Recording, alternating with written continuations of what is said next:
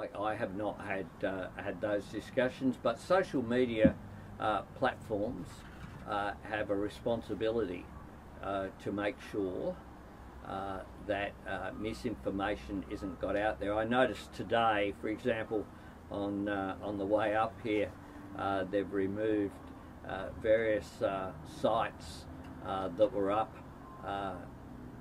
containing fake images of myself uh, superimposed on on other people.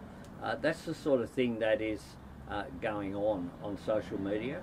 Social media has a responsibility uh, to do the right thing here.